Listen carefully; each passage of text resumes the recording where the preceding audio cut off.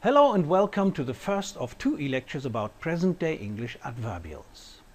As you know, the adverbial differs considerably from the other elements of clause structure, most notably in terms of its formal realization and by means of its position. Both aspects will be discussed in this e-lecture. In a follow-up e-lecture, we will look at functional aspects to define different types of adverbials and we will also look at some of the semantic roles adverbials can take over. Adverbials are the most peripheral among the elements of clause structure. They can usually be omitted and are most mobile. Let's illustrate that. Here is a very simple sentence. My mother enjoys parties, where my mother is the subject, enjoys the verb and parties the object.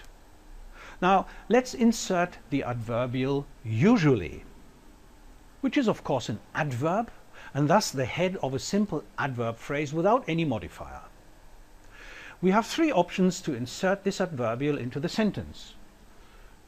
We can insert it here at the beginning of the sentence, usually my mother enjoys parties. We can insert it between the subject and the verb, my mother usually enjoys parties.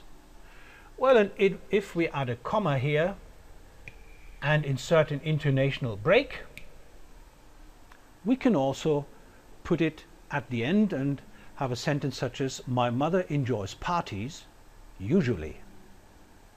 Most adverbials are like usually, both optional and mobile. However, there are also obligatory adverbials to which these criteria do not apply. Let's illustrate this and take a simple sentence. Linda put the book on the table.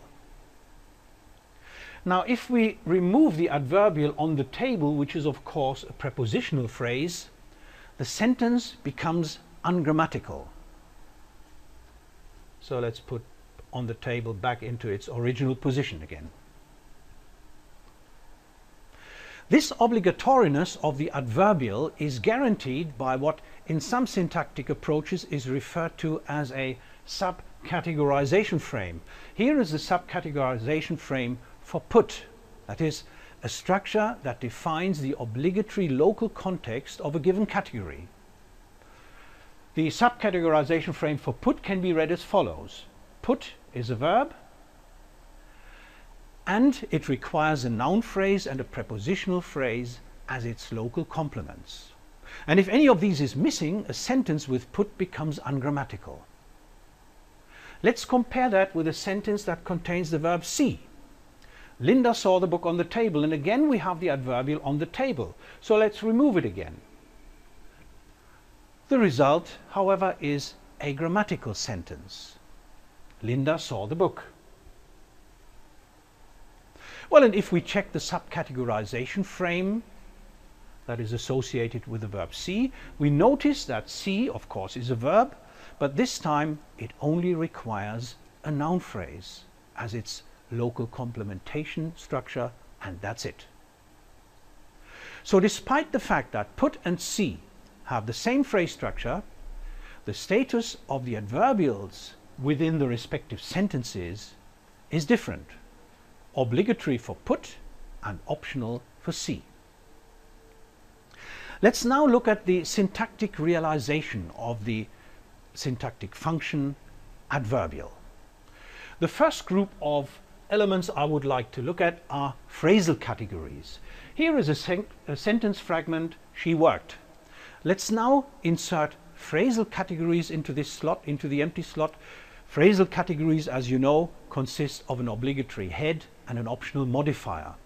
For example, adverb phrases that consist of an adverb here in green, recently, then and there.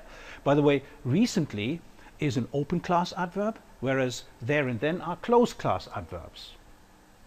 Well, and adverb phrases can be inserted here. They have optional modifiers. Here the intensifiers vary just or right. So adverb phrases can realize the syntactic function adverbial. Well, and then we have noun phrases. such as this year and last night. Noun phrases have a nominal head and can be pre-modified by determiners or post-modified by structures ranging from adjectives to complex relative clauses. The third phrasal element that can realize a syntactic function adverbial is the prepositional phrase, such as in the evening, right across the road, or at night. Prepositional phrases consist of a prepositional head, such as in, across, or at, and they can be modified by elements such as right, just, etc., as in right across the road, and of course they require a noun phrase complement, the evening, the road, or night. Apart from these phrasal categories, adverbials can be realized by clausal elements ranging from finite to verbless. Here are some examples and again we are taking our sentence fragment. This time however we want to insert clausal structures into the empty slot. And here is the first, the finite subordinate clause such as she worked after she had seen me, she worked although she was ill. Finite subordinate clauses are introduced by a conjunction that signals the type of semantic relationship denoted by the adverbial. For example, temporal, the conjunction after is an example here, or concessive, although she was ill. Further semantic relations are causal, hypothetical, manner, purpose, and so on. And then we have non-finite subordinate clauses. Non-finite clauses such as she worked hoping for a good result, thinking about her future. Non-finite clauses exhibit an untensed verb, normally in the infinitive or in the participle form, and depending on the verb, a more or less complex complementation structure. Well, and the last example I would like to mention are verbless clauses. She worked, though obviously ill, when fully pregnant, or her voice full of joy. Now, verbless clauses normally exhibit a conjunction that signals the semantic relationship. Here, concessive in though obviously ill or temporal in when fully pregnant. The verb itself, however, is absent. Sometimes even the conjunction can be dropped as in our last example, her voice full of joy. And this gives us, of course, several options for semantic interpretation. Temporal, when her voice was full of joy, causal, because her voice was full of joy, and so on and so forth. Let us now finally return to the aspect of mobility and look at some sequencing patterns of adverbials. As we already said, adverbials are mobile. However, there are numerous restrictions on the sequencing of adverbials. For example, if several adverbials are clustered in the initial or in the final position of a sentence, they require specific ordering patterns. Here is an example. Julia went jogging. Of course, some sort of temporal implication.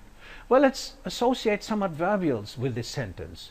She went jogging for an hour more than once last week. Now this is a proper sequence. Julia went jogging for an hour more than once last week. Now if we have this sort of sequence, Julia went jogging for an hour last week more than once, the sentence doesn't become ungrammatical, but less acceptable than in this pattern, in this sequence, where the duration type of adverbial precedes the frequency and the position. So we have this sort of sequence duration before frequency before position. Or take our second example. Mrs. Wade lives and now we want to express a sort of local relationship. She lives a few hundred yards further downhill in Park Road. Well, let's use this, put it over here. Now, if we exchange the positions and make it Mrs. Wade lives in Park Road further downhill a few hundred yards, the sentence becomes less acceptable, acceptable, maybe even ungrammatical. So here we have the sequence distance before direction before position. Such sequencing principles occur in many more examples. Take this example, Mike was hit with a stone, where with a stone is of course the instrument.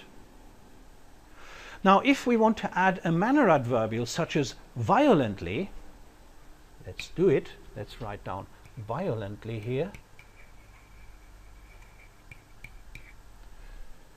We can again ask the question, where do we put it?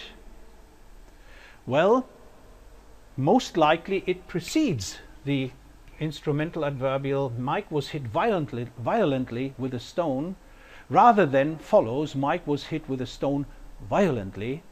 Well, you see we have sequencing patterns of adverbials in present day English. So despite their high degree of mobility, adverbials are positionally fixed somehow, especially when they are clustered.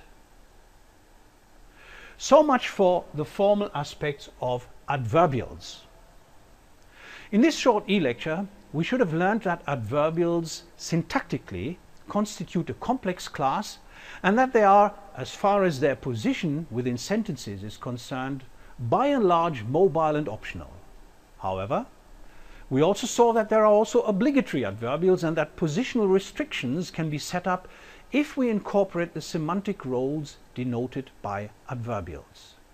The integration of these roles and the function of adverbials within sentences will be the focus of a second e-lecture on present-day English adverbials.